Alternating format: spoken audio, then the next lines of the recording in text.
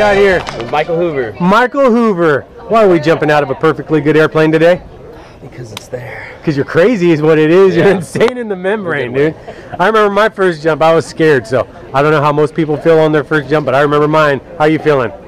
Now I'm scared. Let me see your hand. Oh yeah, you're really scared. Any Oh, famous last. Any famous last words or shout outs to anybody that's going to watch us? Oh, enjoy. Enjoy. Enjoy, enjoy. Enjoy. Erase my hard drive. All right, buddy. We're going to go to 13,000 feet. We're going to fly like a bird and land like a feather. You ready to have some fun? Yes. Are you ready to watch him have some fun? Yes. All right, I'll see you guys.